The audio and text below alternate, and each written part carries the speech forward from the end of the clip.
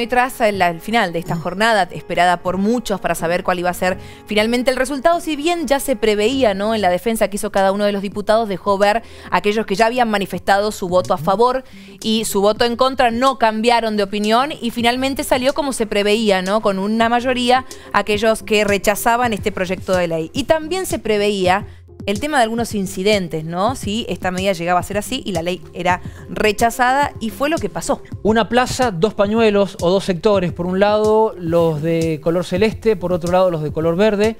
Y ya cuando quedaba finalmente eh, la sanción o la decisión del Congreso y del Senado de que el aborto legal no se iba a convertir en ley en la República Argentina, comenzaban los disturbios y algunos incidentes, incidentes que terminaron con ocho detenidos bien entrada la madrugada. Y que lejos está de defender una postura, ¿no? Porque sabemos que a través de la violencia y de este panorama triste que por allí nos deja aún peor, ¿no? A los ojos de, del país mismo y del mundo, no se logra nada. Pero bueno, esto este, también se preveía, ¿no? De que podía llegar a suceder en el caso de que, bueno, no saliera la decisión que muchos también querían. Así terminaba un largo día, así terminaba una extensa jornada, bien entrada la madrugada con los serios incidentes y ocho detenidos aquí en el país.